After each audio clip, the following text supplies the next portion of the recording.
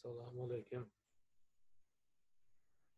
Sami informatika axborot texnologiya operatsiyasi ramzim bilaman demak e, bugungi mavzumiz video leksiyamizning bugungi mavzusi. Microsoft excel elektron jadvali bilan ishlash sonli ma'lumotlarni qayta ishlash texnologiyasi tibbiyot ma'lumotlarini kompyuter tizim yordamida hal qilish degan mavzu. Demak birinchi o'sha excel elektron jadval haqida qisqacha ma'lumot beramiz. Demak excel elektron jadvali e, hisob kitob ishlariga e, mo'ljallangan dastur hisoblanadi. Bu jadval yordamida biz e, arped hisob kitob amallarini bajarishimiz mumkin. Demak bu excel elektron jadvali microsoft office dasturga kiruvchi dastur hisoblanadi. Oldin shu dastur yordamida undan oldin elektron jadval e, dasturi bo'lmasdan oldin super cals o'rta e, dasturlarda ishlagan va excel dasturi paydo bo'lgandan boshlab demak biz office dasturi quruvchi dasturini e, judayam yaxshi ishlab olib borilgan bizni ishlarimizni yengillashtirib bergan dasturlar hisoblanadi. Demak biz uni ishga tushirish uchun avvalambor kurs tugmasiga murojaat qilamiz kurs tugmasi все программы все программы tugmasi esa ms office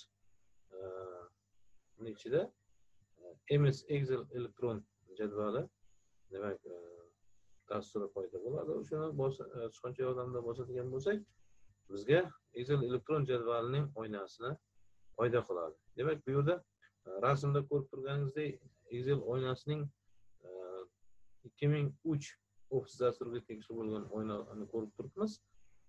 Bu oynada e, ko'rib turibsizlar menyular qatori fayl правка вид вставка format servis данные окна справка to'qqizta menyudan iborat menyular qatori joylashtirilgan undan esa e, asboblar paneli joylashtirilgan.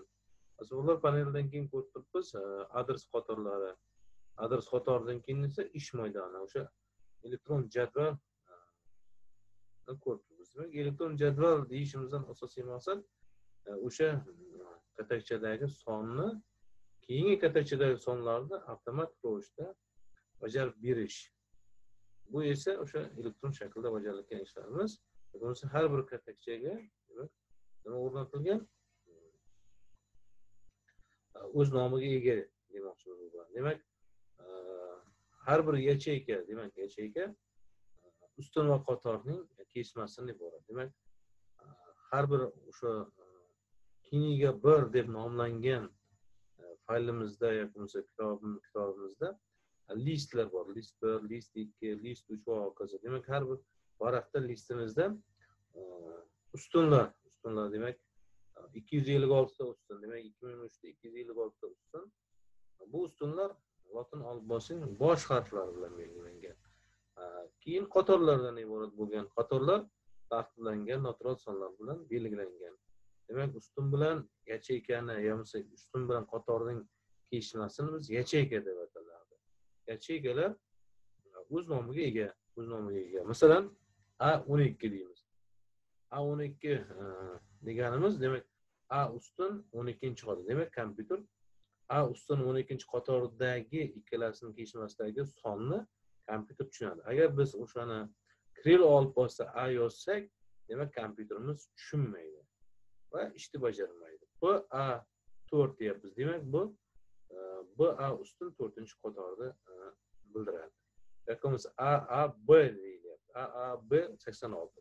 A a b ustun sakson oltinchi qatorda biz e, kompyuter biladi ishni bajaradi. Va hokazo. Har bir yacheykalarda oddiygina jazo tuzish emas balki yacheykalarga kiritilgan boshlang'ich qiymatlardan ma'lum formulalar asosida e, yangi qiymatlarni hosil qilish mumkin. Demak u yacheykaga bitta o'sha sonlar emas o'sha matematik formulalar emas balkim biz shu matnlar kirishimiz mumkin. Matnlarni yozishimiz mumkin. Va hokazo. Demak e, jadvalga ixtiyoriy o'sha katakchaga ixtiyoriy formulani kiritish hisoblashni bajarish mumkin. Formulalar dasturlash tillarida kabi bir qatorda yoziladi. Aks holda u oddiy matn singari tushuniladi. Formulalarni yozishda yacheykalar adresidan foydalanish mumkin.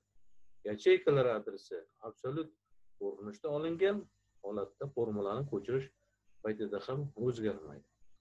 Mana ko'rib turibmiz rasmda qator qatorlarni yig'indisini topish. Demak d besh e, yacheykasida bo'lgan sonni yuzga ko'paytirib e, h beshga bo'layapmiz. Demak bu formula hosil qilyapmiz.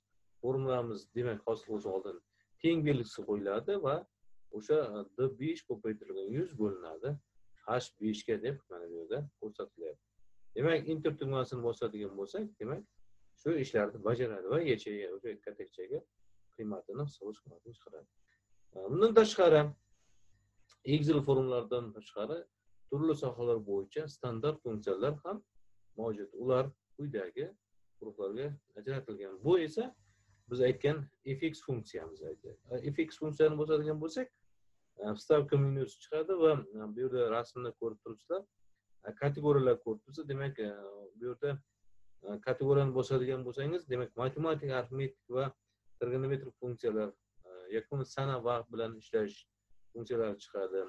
Moliyaviy funksiyalarni aytishimiz mumkin axborot bilan ishlash funksiyalarini aytishimiz mumkin massivlar bilan ishlash funksiyalarini aytishimiz mumkin ma'lumotlar bazasi bilan ishlash funksiyalarini aytishimiz mumkin statistika funksiyalari matn funksiyalari chiqadi. Va biz o'zimiz tanlab ok tugmasini bosadigan bo'lsak o'sha jadvalda shu narsalar paydo bo'ladi va biz matematik yoki bo'lmasa moliyaviy yoki bo'lmasa sana vaqtni qo'yishimiz mumkin. Keyingi e, rasmimizda ko'rib turganingizdek mm, endi mana bu yerda o'sha d to'rt bilan j to'rtgacha bo'lgan sonlarni yig'indisini ko'rsatyapti. D to'rt e, va j to'rt diapazondagi qiymatlarni yig'indisini hisoblash uchun biz formula tuzyapmiz o'sha formulada agar biz natijani olmoqchi bo'lsak enter tugmasini bossak h to'rt yacheykaga formulani keltirib chiqaryapmiz va natija shunga chiqariladi.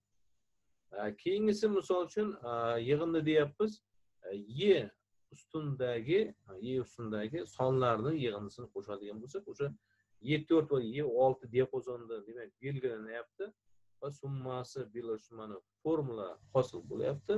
Inter tugmasi bo'lsa e o'n yettiga nima qilinyapti? Shularni sonlarning yig'indisi hosil bo'lyapti. Endi ehm, h sakkiz yacheykasidagi summani biz hisoblaydigan bo'lsak boya ko'rsatilgan e, d sakkiz va j sakkiz rasmdagi o'n yetti yacheykalardagi summalarni biz formula yordamida hosil qilishimiz mumkin. Bundan tashqari e, biz e, bizga tushunarli bo'lishligi uchun demak o'sha ma'lumotlarni histogrammalarni ham nima qilishimiz mumkin?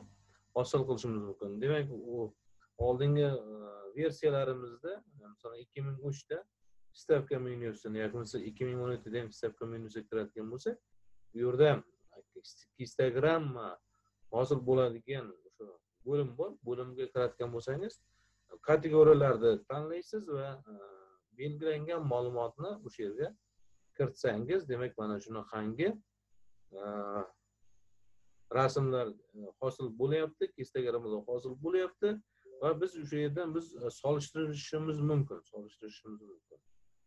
E, keyingi slaydga o'tadigan bo'lsak demak bu yerda maosh maoshlarni aytdik demak abs degan demak ustunlarda qatorlarda ham aytyapmiz ma'lumotlarni kiritishimiz mumkin deyapmiz. Demak bu yerda o'sha yig'indilarni qanday qilib hosil qilishimiz qanday formula tuzishligimizni ko'rsatilyapti va natijasini olishimiz mumkin. Natijasini olishimiz mumkin. Har bir yacheykaga kiritilayotgan sonlar o'zgarmaslar konstantalar sifatida qabul qilinadi. Microsoft excel dasturida sonlar quyidagi mana shu sonlar orqali kiritiladi va lotin alifbosining bosh harflari bilan ustunlarga kiritiladi belgilar hozir demak biz yozishimiz mumkin. Tugmalarning boshqa barcha kombinatsiyalari orqali kiritilayotgan ma'lumotlar raqamli raqamsiz belgilardan iborat bo'lib matn sifatida qaraladi. Manfiy sonlar kiritilayotganda son oldiga minus ishorasi qo'yiladi yoki e, son qavs ichiga olinib yoziladi masalan minus besh yoki qavs ichiga besh. Bu manfiy sonni tushunadi kiritilayotgan sonlar ham hamma vaqt e, yacheykaning o'ng chegarasidan boshlab yoziladi endi biz tibbiy ma'lumotlarni ko'rib chiqishimiz mumkin. Demak tibbiy ma'lumotlarni ms excel elektron jadvalga kiritamiz. Misol uchun masalan demak samarqand shahrida e, tug'ilayotgan e, chaqaloqlar sonini aniqlashimiz mumkin. Demak tug'ruqxonada bir kunda tug'ilayotgan chaqaloqlar o'g'il va qiz soni ko'rsatilgan birinchi tug'ruqxonada ikkinchi tug'ruqxonada uchinchi tug'ruqxonada to'rtinchi tug'ruqxonada va shuni excelda kiritamiz.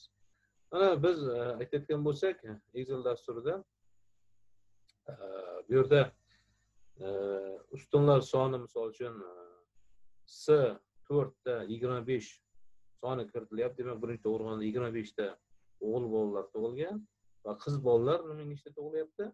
o'n to'rtta tug'ilyapti. Demak ikkita Э, qatorni yig'indisini topish uchun э, teng s to'rt plyus d to'rtni э, nima qilsak ikkalasiga yig'inni qo'yib enter tugmasini bosadigan bo'lsak yigirma beshni e, o'n to'rtga kompyuter avtomat ravishda qo'shib beradi. Bu yerda esa e, formula qatorida ham o'sha narsa nima qilingan? Yozilgan. Keyingi slaydimizda esa e, demak ustunlarni ko'rsatilyapti. Boya qiz bolalarni hisoblagan bo'lsak endi o'g'il bolalar ustunni biz ko'rsatyapmiz. Demak e, bu yerda o'g'il bolalar s e, to'rtdan s yettigacha bo'lgan e, to'rtta tug'ruqxonaning o'g'il bolalar nechta tug'ilganligini ko'rsatyapmiz va natijasini natijasini demak s sakkizga chiqaryapmiz. Bu yerda formula teng summa diapazon s to'rtdan s yettigacha bo'lyapti. Hisoblash shunday bo'lyapti. Keyingi slaydimizda esa qiz bolalar ustundagi sonlarni yig'indisini hisoblash deyapti demak o'sha qiz bolalar to'rtta tug'ruqxonada nechta tug'ilgan bo'lsa demak mana oltmish besh son chiqyapti d. To'rtdan d yettigacha bo'lgan o'sha raqamlarni sonlarni qo'shib beryapti va bu yerda diapazon teng summa d to'rtdan d yettigacha bo'lgan diapazondagi sonlarni qo'shib beryapti oltmish besh sonni hosil bo'lganini ko'ryapmiz keyingi slaydda esa jami jami demak to'rtta e, tug'ruqxonada tug'ilgan chaqaloqlar sonini aniqlashni ko'rsatilyapti demak bu yerda e, mana bu e sakkizinchi qatoriga e sakkizga yig'indini chiqarib beryapti bu degani o'sha jami e to'rtdan e yettigacha bo'lgan diapazondagi sonlarni qiymatlarni qo'shib e, summasini yig'indisini chiqarib beryapti. Bu yerda ham o'sha formula hosil bo'lyapti ko'rib turibsizlar. Bu yerda esa o'sha tug'ruqxonadagi tug'ilgan chaqaloqlarni sonni ko'rsatyapmiz. Demak bu yerda birinchi tug'ruqxonada o'g'il bola qiz bolalarni ko'rsatyapti. Bu yerda esa jamisini ko'rsatyapti. Ikkinchi tug'ruqxonada uchinchi to'rtinchi va jamini ko'rsatyapti. Demak bu yerda biz diagrammalarga qarab diagrammalarga qarab solishtirishimiz mumkin. Solishtirishimiz mumkin. Nechta o'g'il bola nechta qiz bola. Birinchi tug'ruqxonada qanday ikkinchi tug'ruqxona hozir to'rtinchi tug'ruqxonada qanday natijalar bo'lyapti. Bu slaydimizda esa biz talabalarning joriy nazorat baholarini hisoblashni ko'rsatilyapti demak birinchi dars ikkinchi dars uchinchi to'rtinchi beshinchi darsda olgan baholarni demak beshta darsda olgan baholarni o'rtachasi chiqarilyapti va keyin koeffitsiyentlar chiqarilyapti chiqariladi. Demak buni hisoblashda talabalarni o'ziga biz nima qilamiz? E'tiborga e'tiborni qaratishini so'raymiz va shuni e, vazifa sifatida o'zlari yozib olsa bo'ladi va excel elektron jadvalida shu amallarni bajarsa bo'ladi. Qisqacha ma'ruzani shu yerda tugataman excel elektron jadval bo'yicha e, qisqacha ma'lumotlar shunday bo'lyapti. E'tiborlaringiz uchun rahmat.